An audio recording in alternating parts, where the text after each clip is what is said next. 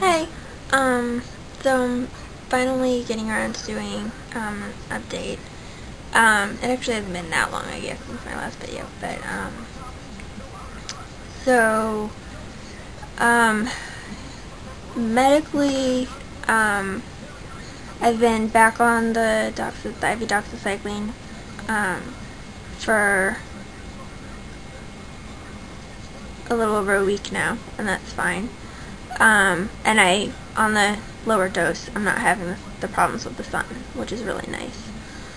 Um, and I started the rifampin, the oral antibiotic, um, last Thursday, so it's been not quite a week um, of that, and so far so good. I'm only on half the dose, um, so I'm taking 300, no, 150 milligrams in the morning and 150 at night.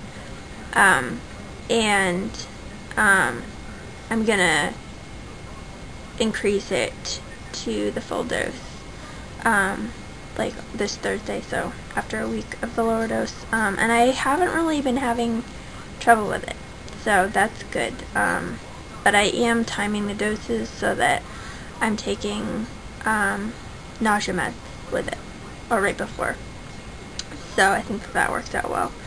Um, I also am just trying to be really, really, I got, I got myself really organized with my medicine, um, and with the addition of the rifampin and the fact that the rifampin has to be taken on an empty stomach, um, I wound up, um, with now I have, um, seven different times in the day when I have to take oral meds so up from like five. Um, so um, I, for me, um, I can actually show. I use a week, um, a week for each day. This is a underneath my labels. that you know, it says it's for Sunday, Monday, Tuesday, Wednesday, Thursday, Friday, Saturday. Um, so yeah, so I use a week organizer for one day, which I've done before, um, and I had a whole bunch of the week organizers. So, um, so that I'm able to do a week at a time. Um, so I'm not having to constantly be organizing medicine because that would suck. Um, so I'm doing okay with the rifampin. Um, knock on wood. Um, not really having the side effects that I had with it before, so, you know, we'll see when I get up to the higher dose how I do, and over time how I do, because I think that with me, with that med, um, the longer I take it, kind of the more likely I am to have side effects. Um, I'm still recovering from the tigecycline. It seems like it really like hit me hard. I mean, I was only on it I did six doses of it, and that was split up because I took a day off, day and a half off in the middle. Um, so, but it really like took a toll on me, and like my stomach still isn't back to normal, and I'm still not eating normally. Um, so, still kind of working on that. Um, so yeah, so that's kind of medically how things are. I did labs last week, and which I think I actually had already done before I did my last video, but they were um, pretty good, so that's good.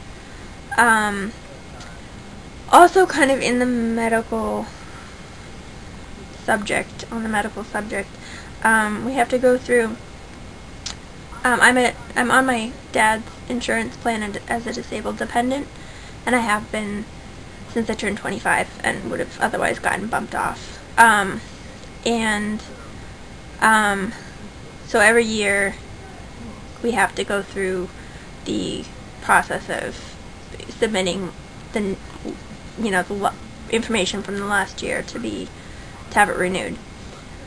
Um, and so we were starting that process, and it, it needs to, or it needs to be done um, for the beginning of August. August 8th was is like the cutoff date um, so I had my doctor photocopy stuff and um, and unfortunately my doctor didn't really get enough stuff together, but so I have to talk to her. But um, you know, it was a start, so we sent it off to the insurance company, and then yesterday, or actually it was probably on Friday, um, but I found out yesterday or on Sunday that um, uh, my dad's company is switching insurance plans, and we were given two weeks notice. Um, so August 1st is when the switch happens. It's back to an insurance that we used to have that actually when I first went on as a disabled dependent, that was the insurance that they had and then they did this and switched to the one that we have now, um, also with very little notice. And it's just so frustrating and kind of makes makes me realize how most people don't really think about how there are people that it's a big deal for and that two week notice is not enough. Um, so now we have to try to get the stuff together to send to this other insurance and what's probably going to end up happening is that I'm going to have a lapse in insurance coverage. And it, once it once it does go through, it'll be retroactive. But um, you know, there will probably be a period of time where I don't have my primary insurance. Um, thankfully, this year at least I have um, Mass Health as a secondary insurance, so for prescriptions and stuff, that will um, help because that's the thing that affects me the most with prescriptions. Um, last year, when we were going through this, I was on some very, very expensive oral medications that I had to stop, and um, eventually had to pay for limited supply of it out of pocket because I just had to be on it. But um, it's just really, really frustrating when people don't don't really think that about the fact that there are people with chronic illnesses, that there are people with very serious illnesses who this affects really profoundly. And I know that I'm probably in my whole dad's in my dad's whole company, I'm probably the only person that it affects this way. But um, you know, the other people might have chronic or life-threatening illnesses or whatever, um, but they're not disabled dependents, so it doesn't affect them the same way. But um, it's just really frustrating. And um, non-medically, I'm back at work this week. Um, Monday, Wednesday, Friday, I'm at the camp at the preschool, and then I'm also um, taking care of a friend's um, four-month-old son who um, is really cute, but kind of a handful. So um, I was there yesterday for five hours, and I was there today for eight hours. And um, it's you know he sleeps, so I have breaks and stuff. And I had my computer there today, so I was you know online and had a book and you know keeping myself occupied. But it's it's tiring, and my arms are sore from carrying him around. He's kind of a heavy four month old. Um, so but that's been it's been good. It's been fun. I'm probably going to be doing that for a couple months, um, helping out. Um, this past weekend I went to Connecticut and stayed with my aunt and uncle, and then went up to um, the Eric Carle Museum, which I had mentioned that I was going to a workshop there, and it was really cool and a lot of fun. And I made a cool collage um, that I've taken some pictures of, so I'll stick some pictures of that in um, at the end here. Um, so yeah, and then I got to see my um, brother and his fiance and Claudius the cat again.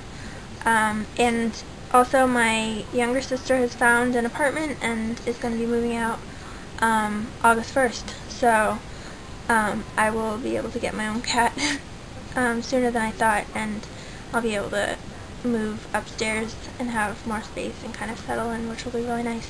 So, so that's it. Um, I hope you're all doing well. Alright, bye.